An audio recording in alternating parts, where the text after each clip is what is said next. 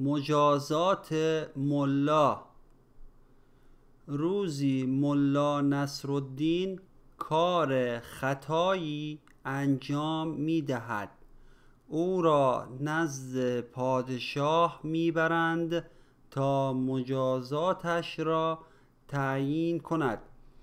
پادشاه برایش حکم مرگ صادر می کند اما به او می‌گوید اگر بتوانی در مدت سه سال به خرت سواد خواندن و نوشتن یاد بدهی از مجازاتت میگذرم.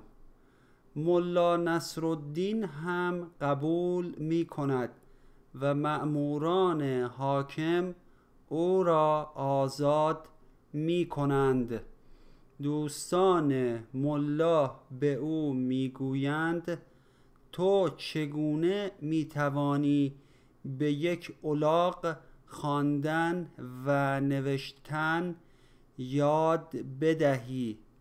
ملا نصرالدین می‌گوید امیدوارم در این سه سال یا شاه بمیرد یا خرم. روزی ملا نصرالدین کار خطایی انجام می‌دهد. او را نزد پادشاه می‌برند تا مجازاتش را تعیین کند.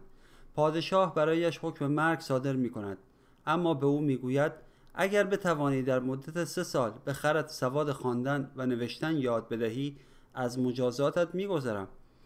ملا نصرالدین هم قبول می کند و ماموران حاکم او را آزاد می کنند دوستان ملا به او می‌گویند تو چگونه می‌توانی به یک الاغ خواندن و نوشتن یاد بدهی؟ ملا نصرالدین می‌گوید امیدوارم در این سه سال یا شاه بمیرد یا خرم.